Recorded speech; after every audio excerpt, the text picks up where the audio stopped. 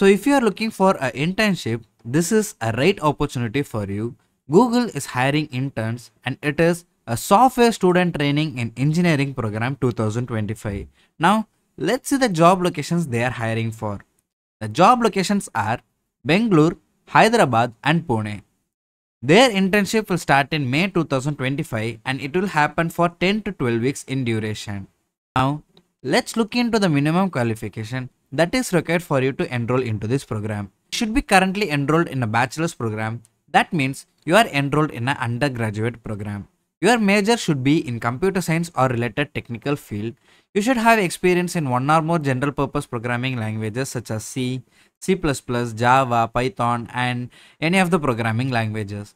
You need to have the ability to communicate in English fluently because you will be participating in technical discussion more. So you will need to have a good communication skill. Now let's see the preferred qualification for this role that you should be currently enrolled in a full-time degree program. After completion of this internship, you will return to your college. You should have the ability to complete a full-time 10 to 12 weeks of internship between May to August 2025.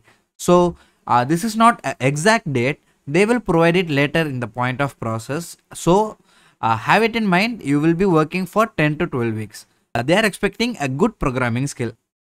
As I mentioned, the example can be C++, Java, Python, C or anything.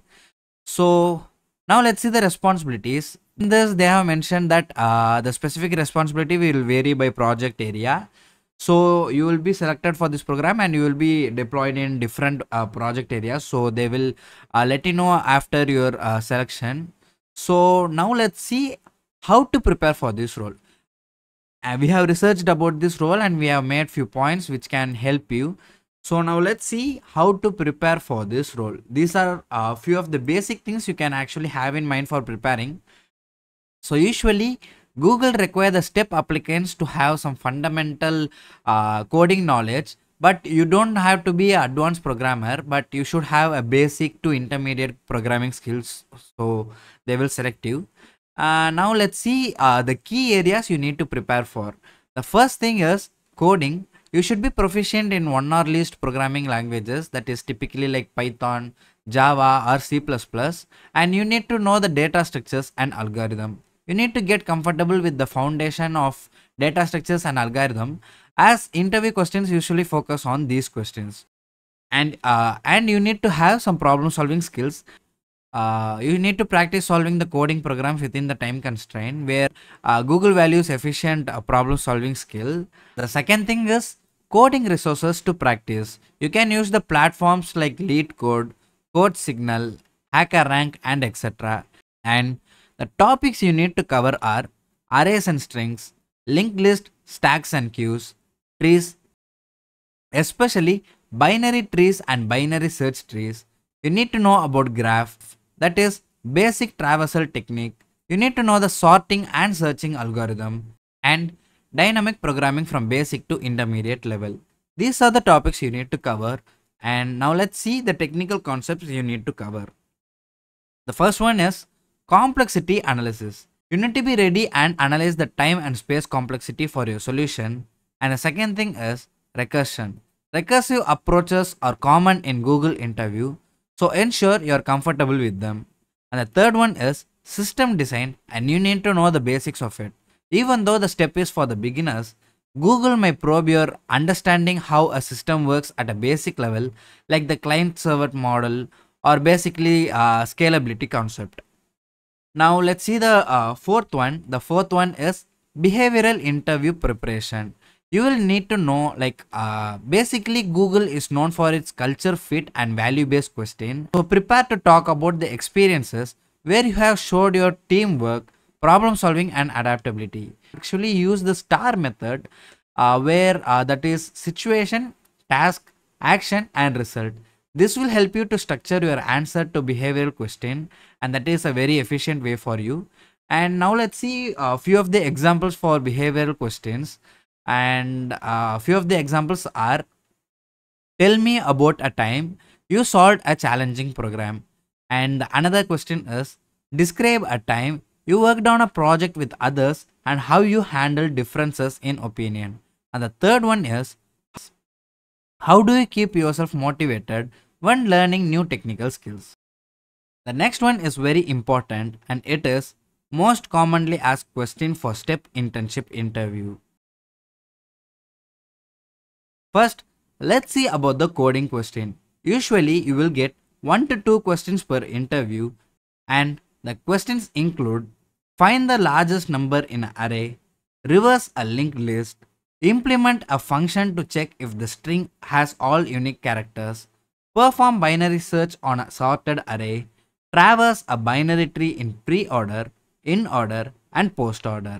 And the last question is implement a function to detect cycles in a graph. These are the mostly asked questions in coding. Now let's see the technical or conceptual questions. The first question is explain the difference between stack and heap memory. The second is describe the time complexity of a common data structures like array, linked list, hash maps and etc. The third one is explain the pros and cons of using recursion versus iteration. And now let's see the behavioral questions. The behavioral questions will include why are you interested in the STEP internship at Google? Tell me about a time you faced failure and how you handled it. What is a project you are particularly proud of and what role did you play? Now we have seen the most asked questions. So now let's proceed to the next one. The next one is selection process. And the next one is selection process. The first one is application and resume screening. Ensure your resume highlights a relevant coursework, personal or academic project, coding languages and any extracurricular related to tech. And next one will be online assessment. Some candidates might receive a coding assessment online before the interview stage and then you will have your interview. Typically, there are two technical interview.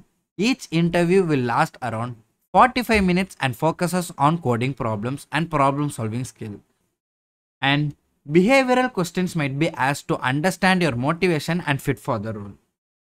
Now, let's the final thing. These are some additional tips for you.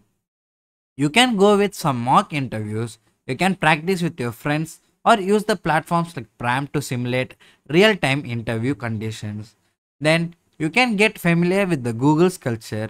You will need to read upon the Google's value, its approach and diversity, and its current initiatives in tech to prepare for behavioral interview.